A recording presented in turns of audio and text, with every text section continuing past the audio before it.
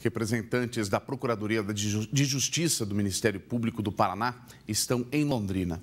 O grupo investiga se o promotor Renato de Lima Castro protegeu o contador dele nas investigações da Operação Publicano.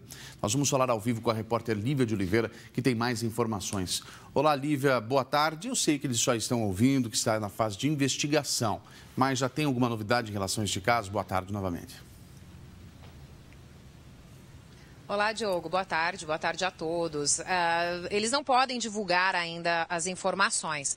Eles ouviram entre ontem e hoje sete pessoas, incluindo aí os promotores que fazem parte da operação Publicano e também o denunciante Orlando Aranda, né, que era servidor ali da Receita Estadual de Londrina e que foi condenado na primeira fase da Operação Publicano a 14 anos de prisão por cobrar propina de empresários da cidade em troca de benefícios fiscais.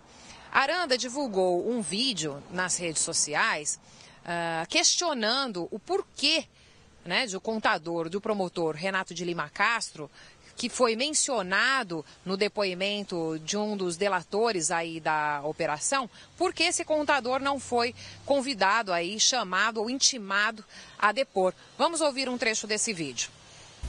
Em depoimento prestado nas delações do GAECO, o Luiz Antônio afirma que o contador Paulo Caetano intermediaria acordos de corrupção na Receita.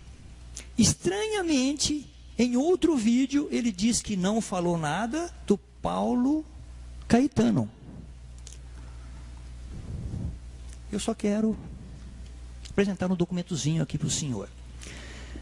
O senhor Paulo Caetano, ele é contador da empresa JVL Administradora de Imóveis, proprietário Renato de Lima Castro.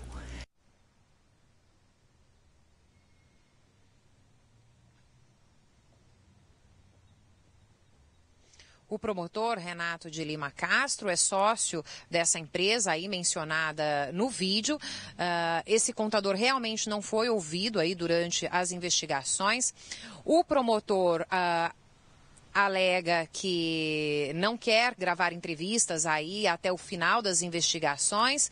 Ele também acredita que esse vídeo foi uma tentativa aí da defesa, né, e do próprio Orlando Aranda, aí que foi condenado na Operação Publicano 1 de levar toda a operação, né, a equipe do Ministério Público ao descrédito.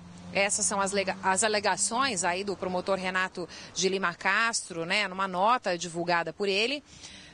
Nós conversamos aqui rapidamente também com os dois promotores ligados à Procuradoria-Geral de Justiça do Paraná. Eles retornam hoje à tarde para Curitiba. Durante aí, as oitivas, eles também coletaram alguns documentos relacionados a esse caso e não tem prazo para terminar as investigações. Né? Eles não têm um limite de prazo e também não quiseram estipular nenhum prazo para isso. Eles disseram que vão analisar toda essa documentação, disseram também que devem receber outros documentos que ainda que já foram solicitados e que estão retornando então hoje à tarde para Curitiba. Lívia de Oliveira para o Jornal Tarobá.